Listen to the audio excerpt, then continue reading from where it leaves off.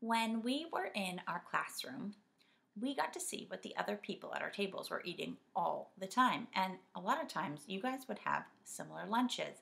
So you would have carrots, and there would be someone else at your table who had carrots, or you had the same yogurt or the same juice box. And today we were thinking, Lily and I, that it would be really fun for us to share what we're having for lunch. So the way we're going to do that is by drawing lunch menus. Just like we used to draw menus for snack math, today you are going to draw a lunch menu. So if you've already eaten lunch, you can draw what you had. And if you haven't eaten lunch yet, then you can ask your grown up what you're going to have, or you could make one up of what your most favorite lunch could be if you could have anything in the world. And I am going to show you my lunch menu. So for lunch today, I am going to have some carrots. So I'm going to draw my carrots. One, two, three. And I'm going to add some little green stems at the top so we know that they're carrots and not just orange triangles. I am also going to have an apple for my fruit. I'm going to have, I have green apples in my fridge right now. So I'm going to have a green apple. And I'll draw the little stem. And the other thing I'm going to have for lunch today is some leftover pizza. I had pizza for dinner last night. So I'm going to enjoy another piece of pizza for lunch today. And I'm going to make the crust. That's my favorite part. Some people don't like the crust. When I was a little, a kid, I didn't like the crust, but now I love the crust. And on my pizza last night, I had black olives. So I'm to put some black olives on my pizza.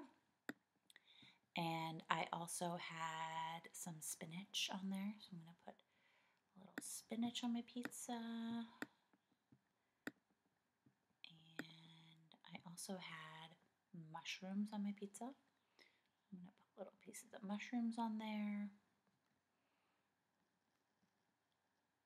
And the other thing that I had on my pizza was cheese. So I'm to put the cheese on my pizza. The cheese might be my favorite part. I like when it's really stringy and gooey. Okay, so there's my cheese, and now I need to add the sauce. Lots of sauce on the pizza. Okay, so there's my pizza. And to drink, I had a nice big glass of water. I'm going to fill up nice and high. And I had to drink it with a straw today. And I also had for dessert a really yummy chocolate chip cookie that I made over the weekend. It was so good. And I put so many chocolate chips in it so that I would have chocolate chips in every bite. And there are big chocolate chips and little chocolate chips and all sorts of different sizes. And it is so yummy. Okay, so now I have all of the foods that I ate. And now I need to label them. So I, the first thing I'm going to do is I am going to write a title for this. So this is McKenzie's lunch. Lunch. We need two letters to make the ch sound. A C and an H. McKenzie's lunch menu. And I am going to put that, I'm going to make it a little bigger.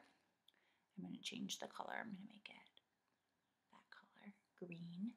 And I'm going to put that at the top of my menu. And now it's time to label the foods that I ate. So I had some carrots, C A R R O T S.